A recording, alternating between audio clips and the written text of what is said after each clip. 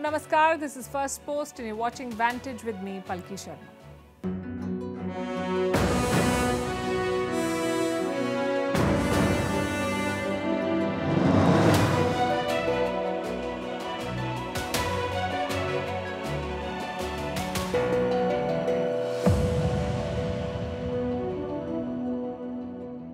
One hundred billion. That's the kind of money US banks lost last week. Their market value fell dramatically. The reason was this two banks failed in a matter of 48 hours. There was a bank run. Depositors made a beeline for their money. And this is not a developing economy I'm talking about. This is happening in the United States of America. Crisis is spreading through American banks. The government says the depositors will get their money back, but the global markets are feeling the jitters. Is this a repeat of the 2008 financial crisis? We'll bring you an assessment. Also on the show, the BBC's hypocrisy has been exposed yet again. The British broadcaster faced a boycott this weekend over the suspension of a prominent presenter. We'll tell you what happened. There's a lot of news in West Asia.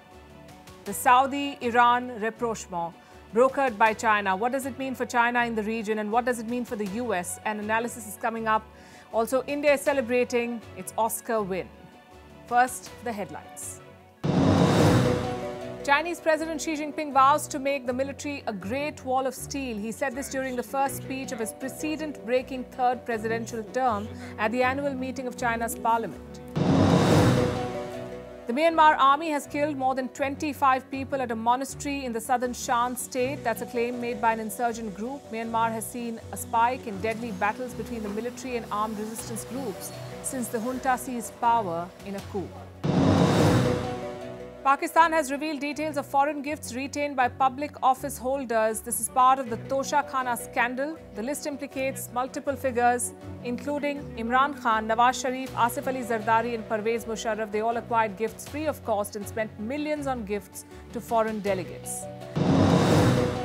Nepal bans solo trekkers throughout the country five years after they banned solo climbers from trying to scale the Mount Everest.